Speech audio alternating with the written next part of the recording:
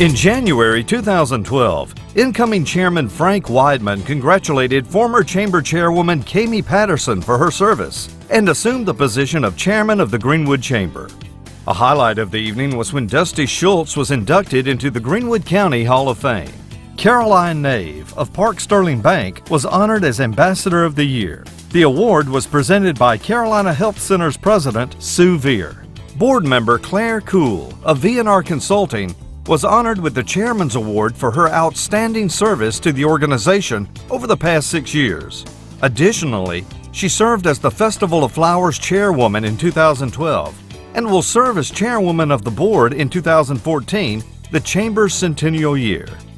The fourth annual Run Your Ice Off race was held on a chilly Saturday morning in February. The event offered a 5K and an 8K race to over 85 area runners and health enthusiasts.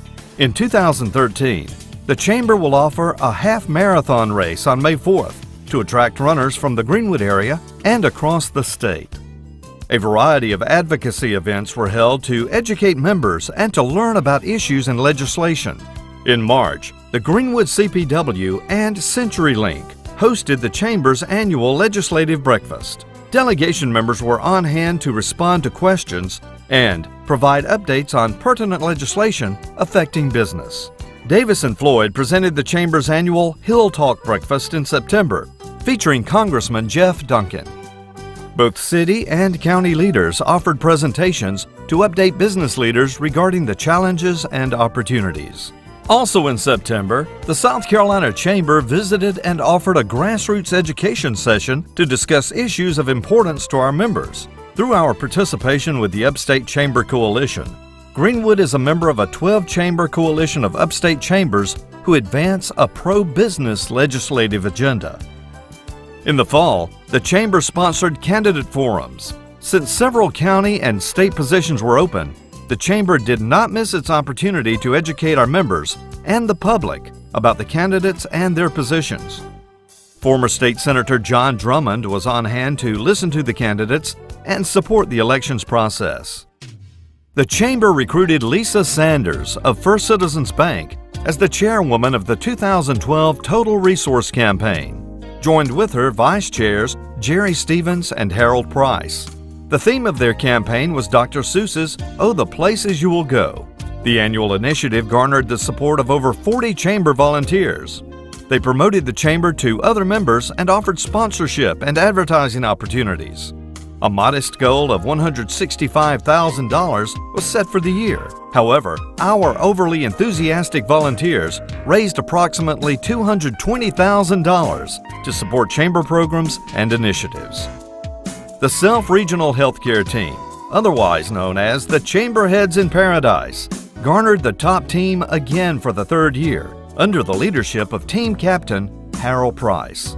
The overall top individual producer was Sharon Elwood of Xerox Morris Business Solutions, who produced almost $15,048 in sales. The Rookie of the Year award was given to first timer April Cornelson of the Self Medical Group. The campaign offers volunteers the opportunity to meet new business owners, connect with each other, and share in a fun filled trip to an exotic destination. Take a look at these excited volunteers. They can't wait to pack their bags. Quarterly membership receptions were held throughout the year to welcome and orient our newest members to the Greenwood Chamber. In 2012, 73 new members were recruited into the organization. Of this number, 58 were recruited in the Spring TRC campaign. And if our success with the Total Resource campaign was not enough, the Women's Leadership Council totally exceeded our expectations. The inaugural Women's Leadership Upstate Regional Conference, presented by Old Main Catering, was held in March, attracting 250 energetic and enthusiastic women from Greenwood and the surrounding seven county area. Participants were motivated by three keynote speakers and offered a variety of professional development topics. Under the direction of co chairs Mamie Nicholson and Phyllis Nolan, a regional team was recruited to plan the event. Co chairs Mamie and Phyllis celebrated at the end of the day long conference. The second annual conference is planned for October of this year. WLC also continued to offer quarterly meetings, social events, and WLC flash meetings. The group provided leadership training scholarships to area high school students and again recognized outstanding women leaders. This past fall, three women were recognized during the third annual Women of Excellence Awards program. Honorees included Shirley Cheek with the Trailblazer Award, Donna Boyasian with the Catalyst Award, and Betty Cobb with the Sustainer Award. In June, the Chamber again saluted its small business owners. For the fifth year, the Chamber nominated four companies for statewide recognition in the U.S. Small Business Administration's awards program. Greenwood swept the awards, with all four being named statewide recipients.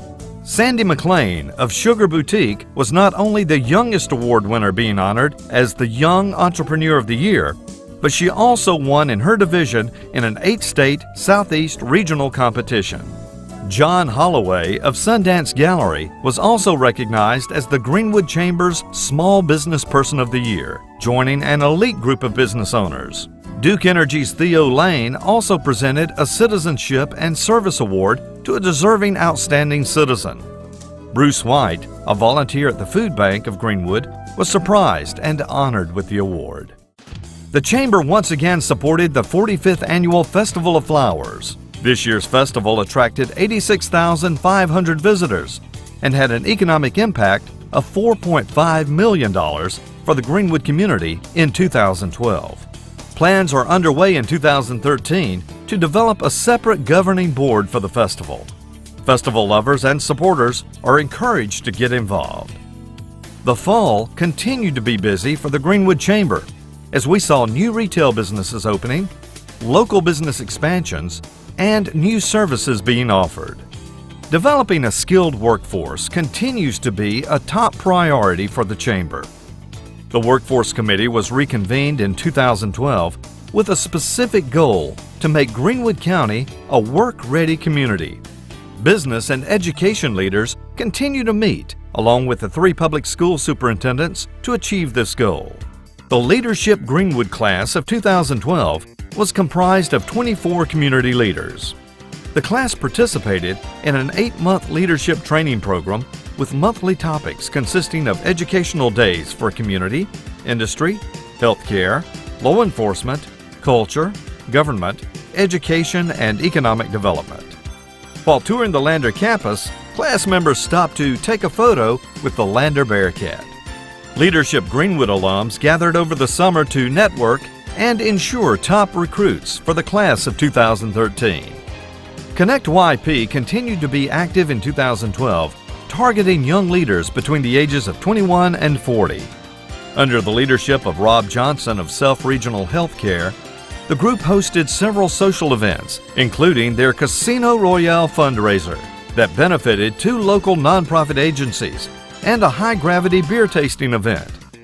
The group's signature event the Greenwood Under 40 Stars Awards Luncheon recognized 10 outstanding young leaders for their efforts in the Greenwood community. Special thanks to the 2012 corporate CYP sponsors Capsugel, Elliott Davis LLC, Self Regional Healthcare, and Walmart. For the second year, Leadership Greenwood graduates Shauna Vines and Eric Sorensen headed the Match Your Mission Volunteer Fair, held at Wesley Commons the event attracted 35 local nonprofit organizations who were seeking volunteers. Volunteers were able to talk to representatives to match their passions and sign up to volunteer. The Nonprofit Council supported Match Your Mission and also sponsored its annual National Volunteer Week recognition program in April. Quarterly meetings were held throughout the year on topics such as board recruitment, governance, and board rules. The Council launched a Nonprofit Connection and Resource Meeting to connect nonprofits and to share information about services for the community. The fifth annual Super Networking Night was held in September at the newly renovated multi-purpose room at Piedmont Technical College. Presented by Alltel, this popular event attracted an all-time high crowd of over 600 and featured 100 exhibitors. Attendees were treated to door prizes from participating vendors, food from area restaurants and caterers, and a grand prize drawing of a 42-inch color TV.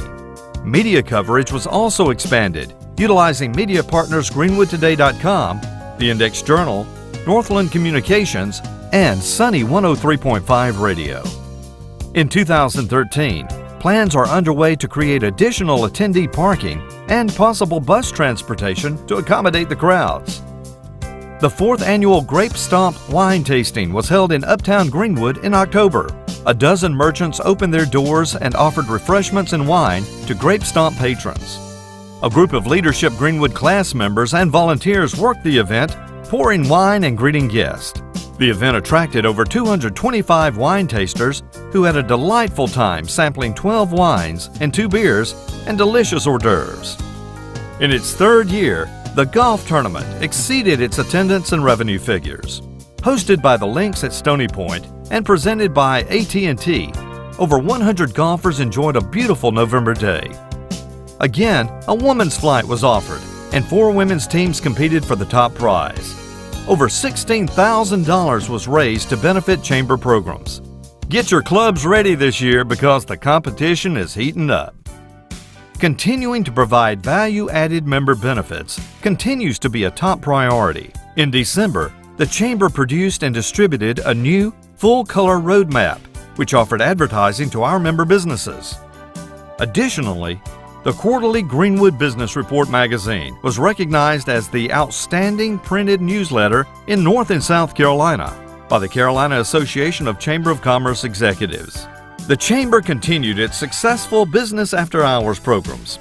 Hosted by Chamber member companies, monthly networking nights were held offering business leaders an opportunity to promote their services and products to other professionals, further business relationships, and mingle with new potential contacts.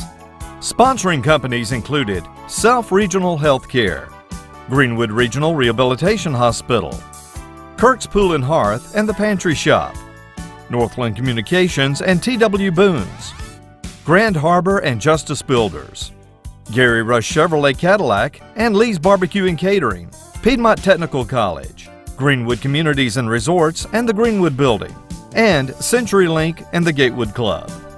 Several educational forums were held to brief the business community on various topics. The Business Over Breakfast and Business Over Lunch programs featured expert speakers on healthcare, education, regional air service, and the health of Lake Greenwood. As your Greenwood Chamber continues to move forward into 2013, the Board of Directors is dedicated to a strategic vision which has the organization focusing on key areas of importance to its members and the community, growing community leaders, strengthening business and industry, advocating for pro business issues, and delivering value to our members. Under each of these areas are numerous programs and events geared towards improving the business climate and quality of life in Greenwood. 2013 is also an exciting year for the Chamber as preparations begin for our centennial celebration in 2014. We invite you to join us as we start our second century of service as Greenwood's champion for business and advocate for the community.